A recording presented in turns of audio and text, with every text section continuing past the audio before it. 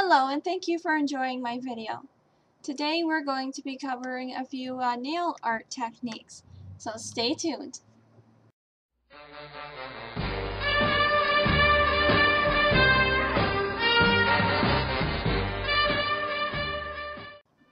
Just to speed things up a little bit with this tutorial, I went ahead and applied my base coat and as well I also used this Avon's Nailwear Pro in this sort of mauvey color and as you can see, this finger right here, I'm using the Avon Stick On Nail Art in Cheetah Pink. So this is just my, um, my accent finger right here. But I'm going to show you the Avon dotting tool and how we can do polka dot nails on this hand.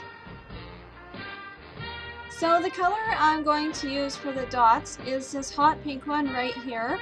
Uh, this is also from Avon. It's called the Speed Dry Nail Enamel. So thankfully it will dry um, a lot faster than well, most nail polishes, which makes our tutorial even quicker. It was a little bit gooey and stringy uh, when I opened it. So with that being said, I do have a YouTube video a tutorial on how to get rid of the goo. The video is actually called Get Rid of the Goo, so you can also watch that on my channel as well. So for your thumbs, I would use the wider end of this dotting tool because this end is fairly narrow. We can use this for our other fingers, especially the smaller ones like the pinky. But I would use this end for the thumb. As you can see, I've already done this one. And now I will show you how. This polka dot nail look is really the easiest thing in the world. You just start in the middle and then work your way out with four dots. So just make sure that they look nice and big from a distance because we're going for bold polka dots. So there's a very center one on my nail right there. And then top corners and bottom corners.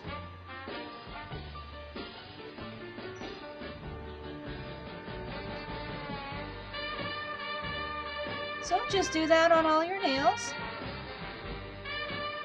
So in addition to using the narrow end of this dotting tool for my pinky fingernails, there is also something else we can use this for, and that is uh, swirl patterns. So I've decided for the swirl colors, which is going to be my other accent nail, I want to go with a really light color and a really dark color. So while this one is still wet, I'm going to use this tool right here to apply this and just kind of smudge it around a little bit and make an interesting swirl.